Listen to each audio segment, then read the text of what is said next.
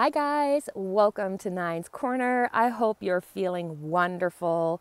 It is a beautiful fall day here in Canada. So I thought, let's look into the month of October, what's going to be coming up for this month.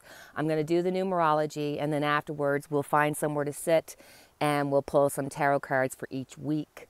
So I hope you enjoy our little walk around the farm, and we'll talk about the month of October. Let's look into October 2021. This month is a sixth month, which is all to do with family, home, responsibility, balance, awareness.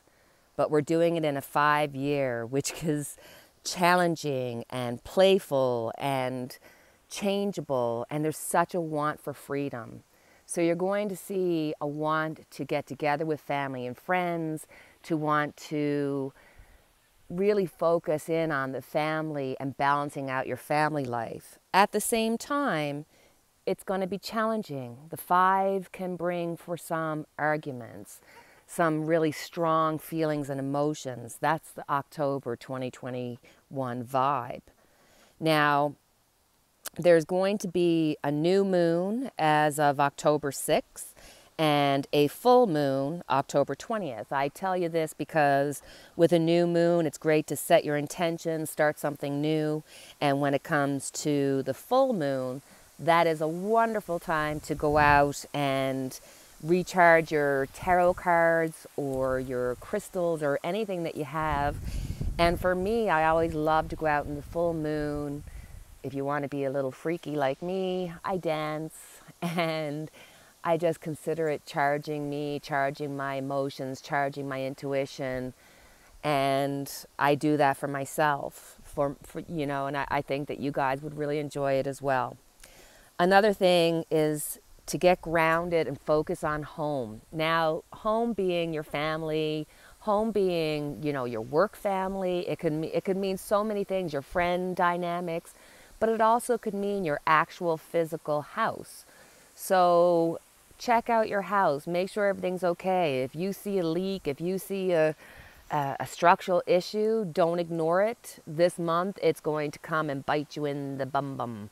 So make sure that you're aware of things. With the month of six being family, there's a community feeling. So during the month of October, you're going to see the two extremes where you're going to see people really riled up and challenging each other and really being passionate to the other end of the spectrum where people will be coming together and they'll be trying to figure out new ways to deal with health issues or economic issues or any of those types of things. Already, I found somewhere to sit and we're going to read the tarot cards for the month of October. What's going to happen during the month of October? First card up Hangman. So, for the first week of October, you're going to see a change in people. They're going to be wanting to focus in on the family, focus in on um, getting back indoors. That's what happens during the fall. But with the hangman here, this is also saying that you're going to see situations from a different perspective. So, for some, you're going to just be so grateful and glad that you've gotten through and you're, you're looking forward to Christmas. But for the majority, you're going to be questioning what am I doing? Am I happy at work? Should I leave my job? Am I happy at home? Should I be with this partner? Should I start something new? There's so many questions here. October is going to be a month of very much passion, passionate thinking, passionate feelings, and hopefully some people change in their minds. I think with COVID, you're going to see more people change in their minds when the numbers just keep going up and up. For the second week, we've got the Two of Cups. So it fits right with the numerology, the family coming together. The second week, people are going to be looking to get together, have good times, maybe have romantic times with that special somebody. Third week, ooh, Eight of Wands, fast paced, things are going to start getting swirled up. I think this is when you're going to start hearing a lot of news and um, there's going to be a swell of emotion, of passion. This is going to be a time when you have to be careful. This is a time when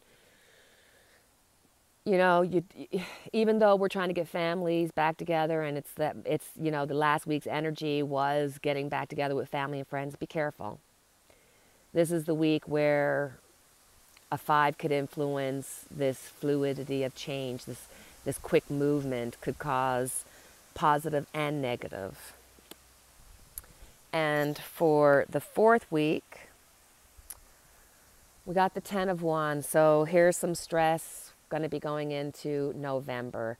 I think because of the Eight of Wands being quick momentum, things changing quickly, that we're going to see some pressures happening. And I mean, guys, we talked about it in the last couple of months about prices going up, oil prices, um, food prices. I told you a couple of, when it, probably like a month ago, uh, when I, oh, blah, blah, blah, sorry, uh, I told you about a wheat. Oh my God. I'll start again. Um, we talked about it in the last couple of months about prices going up. I told you about the $78 turkey in Newfoundland. Well, my darlings, I went and I saw a turkey price here in Alberta $74.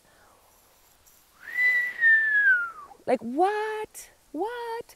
So that is one thing I will reiterate again that you have to be watching um, the prices of things. If there's something that you use a lot that you can stock up on and put away and it won't go bad, do that. Um, and don't forget that this October, because you are talking about the, the time of family numerology, check out your house. Check out foundational things. It's really important. Just another little thing. So, I'll have to run back upstairs, so I'll show you some more farmland and uh, we'll get our candle. I couldn't light it down here because there's just far too much wind, but we have to do the candle. All right, guys.